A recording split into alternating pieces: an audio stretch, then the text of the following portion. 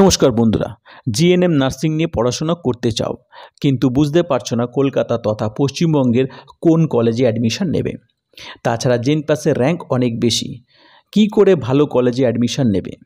তোমাদের বলব, যে কোনো র্যাঙ্কে কম খরচে ডাইরেক্ট ডোনেশন ছাড়া নার্সিং নিয়ে যদি পড়তে চাও, তাহলে আমাদের সাথে যোগাযোগ করতে পারো। আমরা পশ্চিমবঙ্গ তথা কলকাতার বিভিন্ন জিএনএম নার্সিংয়ে অ্যাডমিশন করিয়ে থাকি।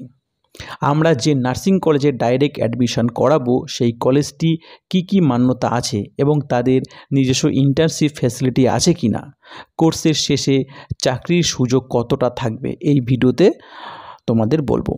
এছাড়া খুব গুরুত্বপূর্ণ একটা জিনিস নিয়ে আলোচনা করব, সেটা হচ্ছে তোমরা ওয়েস্ট বেঙ্গলের কোনো নার্সিং কলেজে ভর্তি তো হয়ে যাচ্ছ, কিন্তু পরীক্ষা দিতে যাচ্ছ ওয়েস্ট বেঙ্গলের বাইরে। তাদেরকে বলব এরকম কোনো কলেজে অ্যাডমিশন নেবে না। যদি ওয়েস্ট বেঙ্গলের নার্সিং কলেজে অ্যাডমিশন নিতে হয়, তাহলে সেই কলেজটি ডব্লিউ বিএনসি মানে ওয়েস্ট বেঙ্গল নার্সিং কাউন্সিলিংয়ের অ্যাফিলিয়েশন কলেজ কিনা সেটা দেখে অ্যাডমিশন নেবে।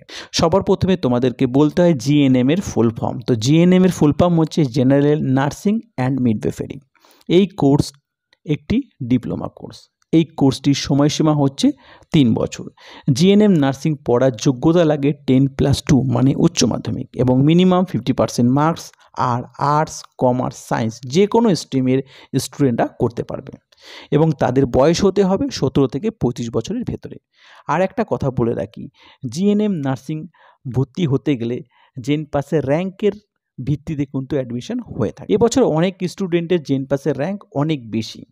তারা ভাবছ এত র্যাঙ্কে কোন কলেজে ভর্তি হতে পারব?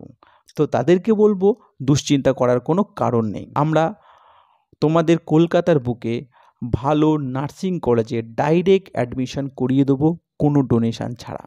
যদি জিএনএম যে কোনো র্যাঙ্কে ডাইরেক্ট ডোনেশন ছাড়া ভর্তি হতে চাও কলকাতার জিএনএম নার্সিং কলেজে, তাহলে আজই আমাদের সাথে যোগাযোগ করতে আমরা তোমাদের যে কলেজে জিএনএমে ভর্তি করাবো, সেই কলেজগুলো department of health government of West বেঙ্গলের অ্যাপ্রুভ এবং তার সাথে সাথে ওয়েস্ট বেঙ্গল নার্সিং কাউন্সিলিংয়ের অ্যাপ্লিকেশন কলেজে অ্যাডমিশন করা এবং সেই কলেজে নিজস্ব ইন্টার্নশিপ ফ্যাসিলিটি থাকবে।